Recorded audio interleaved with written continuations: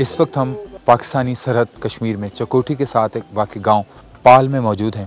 यहाँ पर तकरीबन 1500 के करीब घर हैं जिनकी आबादी तकरीबन 10,000 लोगों पर मुश्तमिल है। मिनहाज वेलफेयर फाउंडेशन ने यहाँ पर एक इस्लामिक सेंटर कायम किया है जिसकी मस्जिद का काम मुकम्मल हो चुका है। मेरे पीछे आप देख रहे हैं ये मिनहाज मॉडल स्कूल की बिल्डिंग है। इसके साथ इसका डिस्पेंसरी और दीगर जो प्रोजेक्ट हैं उनका पर काम किया जाएगा। ये पाल जो गाँव है ये पाकिस्तानी सरहद का आखिरी गाँव है।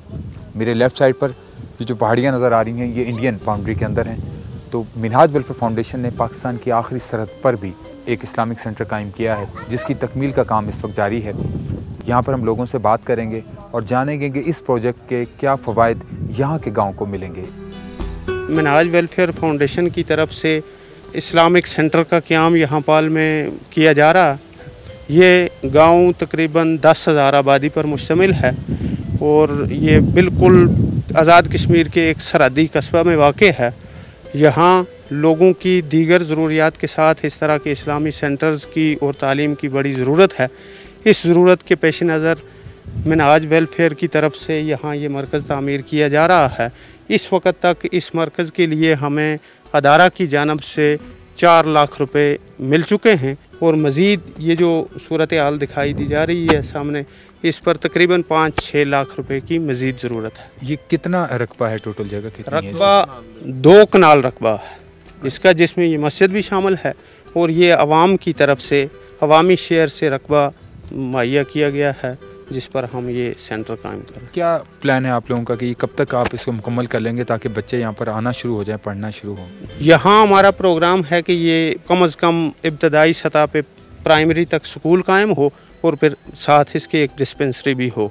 तो अगर फंड्स मुहैया कर दिए जाएँ तो इन हम कोशिश करेंगे कि इसी सेशन में क्लासों का आगाज़ कर दिया जाए। अच्छा अब ये प्रोजेक्ट शुरू हुआ है यहाँ जो मुकामी गाँव के लोग हैं उनका आपको रिस्पांस क्या मिला कि ये प्रोजेक्ट शुरू होता है तो उनके लिए ये अच्छा फ़ायदे का बायस है? जी बड़ा लोगों ने यहाँ कोई पढ़े लिखा माशरा भी है उन्होंने बहुत अप्रिशिएट किया इसको और उसके लिए अपने ज़ाती लोगों ने पैसे देकर ये उसके लिए रकबा मुहैया किया है और दीगर ज़रूरियात में जहाँ आवाम की ज़रूरत पड़ती है वो हमारे साथ बहुत तावन कर रहे हैं। पानी की और दूसरी दीगर ज़रूरियात में आवाम का बड़ा अच्छा तावन शामिल है इस काम में। अच्छा ये आपके इलाके में ये मिनहाजुल की तरफ़ से एक इस्लामिक सेंटर कायम किया जा रहा है। इस हवाले से आप क्या सोचते हैं कि ये प्रोजेक्ट बनेगा तो गाँव को और बड़ा फ़ायदा होगा?